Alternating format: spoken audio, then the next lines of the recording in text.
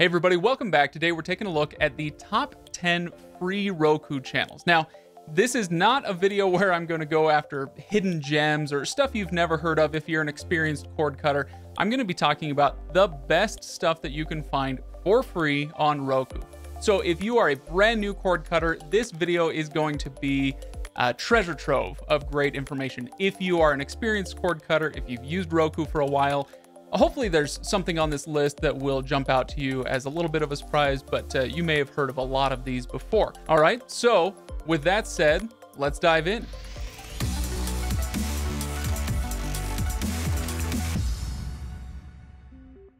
Okay, again, like I said, hopefully there's something here that's helpful to you, whether you're brand new to cord cutting or whether you're an old hand at this. But either way, uh, give this video a like if it's helpful to you. I'd appreciate that.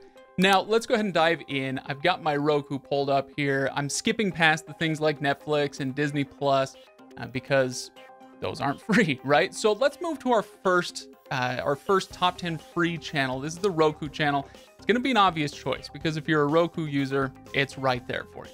So the Roku channel and a lot of the ones that are to come right after this are basically aggregators of content that is free and usually commercial supported. So in the Roku channel, yeah, you're going to get a lot of that. You can watch some good TV and movies uh, that they've pulled together, commercial supported. The nice thing about the Roku channel, the thing that they're trying to do here is actually not necessarily free. A lot of the stuff you'll get here is free, but then you can also pull in premium subscriptions from HBO, Epix, Starz, uh, so that you can uh, watch all of that stuff here in one place. So it is great. They've got good organization for their content here, uh, and you can take a look around yourself. I think that the Roku channel, of all of the free TV and movie channels uh, that I'm going to show you here today, they probably have, if it's not the best, it's right there at the top as far as the quality of the content that they're offering for free, uh, the, the stuff that you would actually kind of want to watch. So moving on, and this is going to be kind of themed because we're moving on to Tubi now. Tubi is my number two pick for the top 10 best free apps on Roku. And again, free movies and TV. Are you seeing a theme here? Free movies and TV. Tubi is set up a bit like Netflix, right? You're going to have categories, it's in a tile format. And when you log in, you'll see all of that stuff in one place for you to peruse.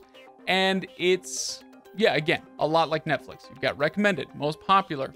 You do have a category not on Netflix, which I appreciate. And when you click on these, it opens it up. The only difference here is that it is commercial supported, unlike Netflix. You know, you pay for Netflix so you don't have to watch the commercials. Here you do. So, again, not much to talk about here other than their method of categorization, which I'll come back to again and again not talking a ton about the content that you do get on here because it's constantly shifting and everybody has different preferences. So, what might jump out to me might not jump out to you. Similarly, Sony has a service called Crackle, which you can log into. Oh, oh, oh. You don't have to log in, you can skip. If you log in, then you can save preferences and profile stuff. Uh, but here, they have a little bit different layout uh, so that you can sort to your category. You can sort to the category that you want a little bit faster, a little more easily. There are things that you'll have to log in for, like this watch later tab. You log in and then it's going to save that profile. So if you want to save stuff to watch later, uh, unfortunately, it doesn't save it to the device. You have to log in so that they can save it to a profile. So uh, again, you don't have to log in, but you can. Once you do, um, or again, if you choose not to, then yeah, there's plenty of stuff for you to watch. You'll notice a lot of these things are kind of shared between the services. You'll see Bewitched uh, quite a bit. You'll see Third Rock from the Sun on several services because they all kind of uh, get those really cheap or free licenses to get you that content. All right, and lastly, and this is a bit of a twofer. It, it's actually like a seven for, if that's a thing. FilmRise. Okay, so there are a lot of different FilmRise apps, and you might be thinking to yourself, well, they're all the same, right? They do have a lot of crossover content. So if you were to get the FilmRise free movies and TV app or the FilmRise free TV app, there's going to be a lot of crossover. The free TV version does have movies. I don't know why exactly these two are separated out, but once you come in here, again, it's going to be a little bit similar to uh, to something like Tubi where you can look through it just like Netflix. You know, again, you're going to have to watch commercials unlike Netflix, but a lot of good stuff on here. The one thing that I will mention is I like the way that they have organized uh, obviously TV, movies, and recently added. This is a nice one here on FilmRise because the content on these services, like I said, is constantly shifting. Uh, and you lose titles, you gain titles.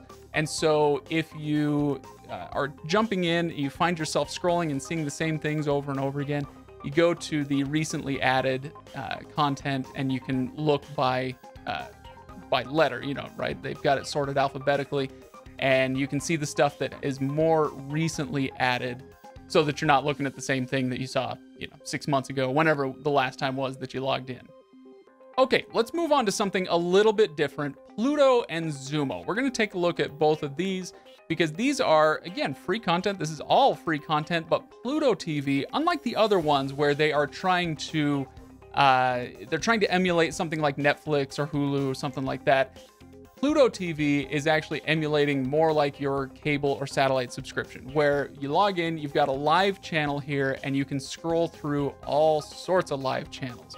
Uh, so it's not going to be the channels that you're used to, but it'll be some offshoots from those. It'll be some, uh, you know, kind of niche channels that really want to get in on something like this.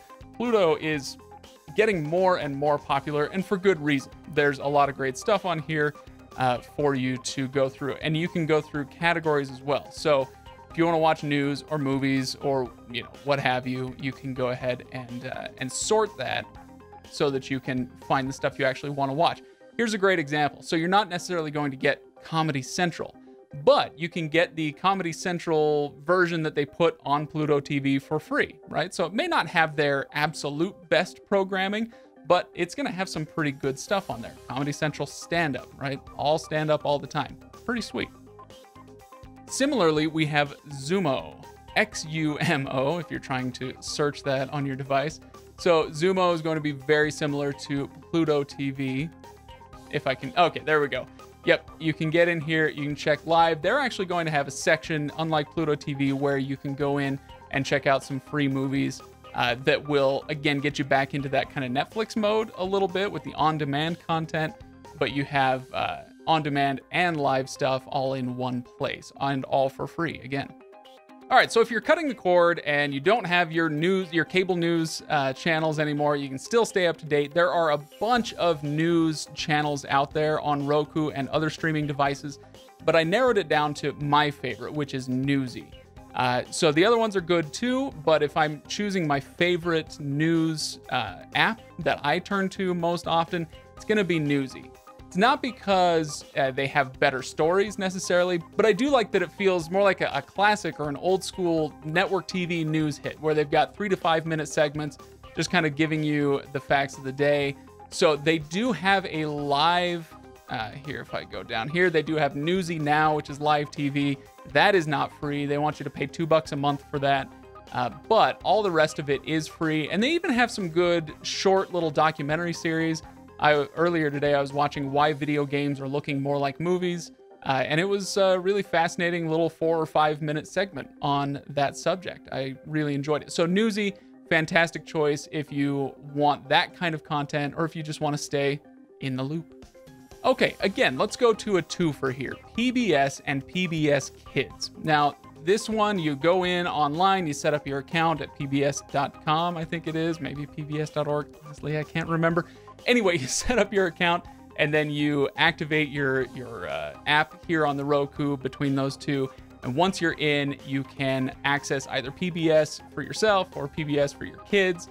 And they have all the PBS content that you could ever possibly want to watch. It's all right here, and it's all going to be based on your area, right? Because uh, PBS stations are a local affair, so you have to sign in so that they can get you the local stuff that uh, that you are entitled to. All right, now maybe we file this one under super obvious and a little bit self-referential, but but YouTube is a fantastic app on these streaming devices, including on the Roku. I highly recommend that you get it, use it, and love it. Uh, YouTube obviously has millions, maybe billions of hours of great content out there now. Now, it's not as easy to search on your TV as it is to search for content on your PC or on your phone, just because it's a pain to type things out. But they do still have their great recommendations. Uh, and so I, I definitely love coming in here if I'm just, you know, I, I need 10 or 20 minutes to kill and uh, and I, I want to watch something that YouTube is going to suggest for me. I'm going to find a lot of stuff in the app itself. And that brings me to my last one here. And again, maybe file this one under obvious, but maybe it's not obvious to everybody. Get Spotify. If you use Spotify, and most of us do, then you can get Spotify on your Roku. It's nice if you, you know, maybe you're doing chores around the house, maybe you're watching on your, uh, you're working in the kitchen and you've got the TV there and you don't really want to watch it, you just want to listen to something. Spotify on your Spotify on your Roku is a fantastic choice. So once you're into Spotify, you can find your playlists, you can uh, search for something, or you can have them find playlists for you. Uh, and yeah, there's not really much to it. The only thing I would say here is that if you have a terrible TV, then it might not be as much fun to listen to it. Um, I would definitely recommend if you are going to be listening to quite a bit of music with your Roku, then go get a nice soundbar, or I've got the Roku speakers hooked up to my TV and those are fantastic. I really highly recommend them. Uh, if you, again, if you watch a lot of movies and you care about sound, or if you're going to be listening to music, then yeah, invest in a good pair of speakers. All right, so there you have it. The top 10 free channels right now available on Roku. Now, there are some missing from here, unfortunately. Apps do get pulled sometimes. I wish I could have highlighted Twitch, but they don't have an app on Roku anymore. Reuters TV might have been my choice a year ago for the top 10, uh, the news option in the top 10, but that's gone. But this is what we do have the top 10 free channels. Let me know what you think in the comments below. Again, give this video a like if it was helpful to you. Fun fact, actually, this is an update of a video that we did on this channel two, two and a half years ago. And that is the most popular video we've ever done. It featured Sabby, our intern at the time. She was fantastic. Uh, so you know, if you are subscribed to this channel, again, fun fact for you, there is a 9% chance that you came in from that video. So I hope that I was up to her exacting standards in this video. again, let me know if you liked it. Thanks for watching, everybody. I'll see you next time.